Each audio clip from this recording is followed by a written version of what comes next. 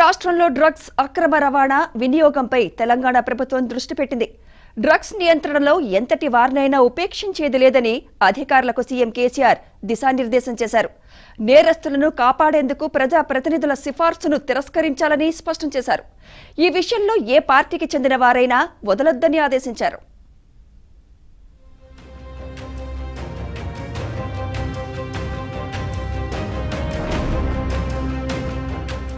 రాష్ట్రంలో గంజాయి నార్కోటిక్స్ వినియోగంపై తెలంగాణ ప్రభుత్వం దృష్టి పెట్టింది. డ్రగ్స్ నెట్వర్క్లను పూర్తి స్థాయిలో అణచివేయాలని సీఎం కేసీఆర్ స్పష్టం చేశారు. ఈ మేరకు ప్రగతి భవన్లో రాష్ట్ర పోలీసులు ఎక్సైజ్ అధికారులతో సమీక్ష నిర్వహించారు. రాష్ట్రంలో ఇప్పుడిప్పుడే డ్రగ్స్ మహమ్మారి ప్రవేశిస్తోందన్నారు. గంజాయి ఎల్ఎస్డి కుకైన్ వంటి మత్తు పదార్థాల వినియోగం ప్రాథమిక దశలో ఉందన్నారు. దీన్ని మొగ్గ దశలోనే పూర్తిగా నాశనం చేయాలన్నారు. దీనికోసం ప్రత్యేక విభాగాన్ని ఏర్పాటు చేయాలని సూచించారు.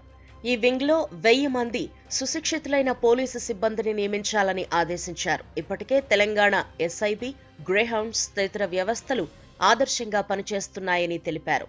డ్రగ్స్ వింగ్ కూడా అదేవిధంగా శక్తివంతంగా పనిచేయాలని సీఎం ఆకాంక్షించారు.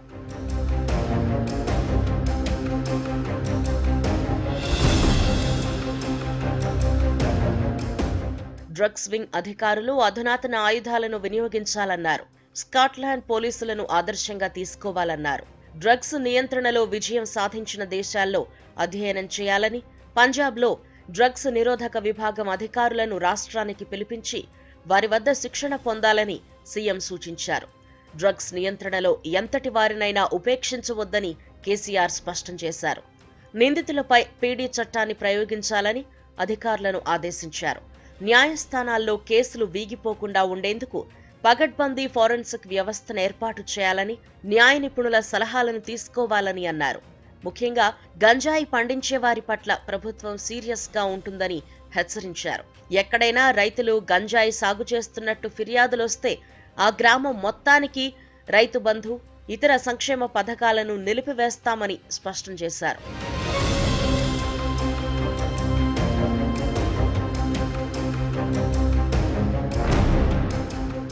అడవుల్లో సాగవుతున్న గంజాయి వివరాలను సేకరించి వాటిని నాశనం చేయాలని సూచించారు. డ్రగ్స్ నియంత్రణను ఓ సామాజిక ఉద్యమంగా చేపట్టాలన్నారు.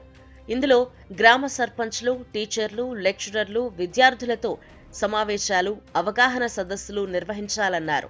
ప్రజలను భాగస్వాములను చేయాలని సూచించారు. సినిమా సోషల్ మీడియా సాంస్కృతిక ఆన్లైన్ వేదికలు కూడా డ్రగ్స్ వాడకం పెరగడానికి కారణాలుగా ఉంటున్నాయని ముఖ్యమంత్రి వ్యాఖ్యానించారు. నైజీరియా లాంటి దేశాల నుంచి వచ్చి ఇక్కడ నేరాలకు పాల్పడుతున్న వారి పట్ల కఠినంగా వ్యవహరించాలన్నారు. ఇక్కడ అక్రమంగా ఉంటూ నేరాలకు పాల్పడే విదేశీయులను గుర్తించి వారి దేశాలకు పంపించాలి అని డీజీపీని ఆదేశించారు.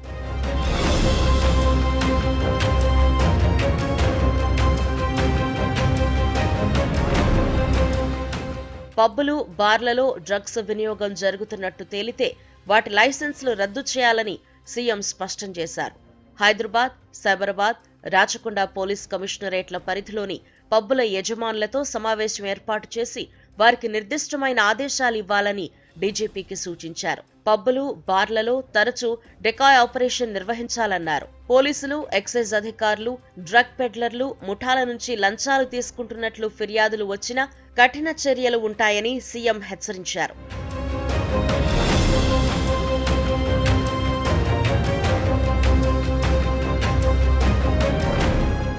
గుడుంబ తయారీని పూర్తి స్థాయిలో నిర్మూలించాం. పేకాటను నియంత్రించాం.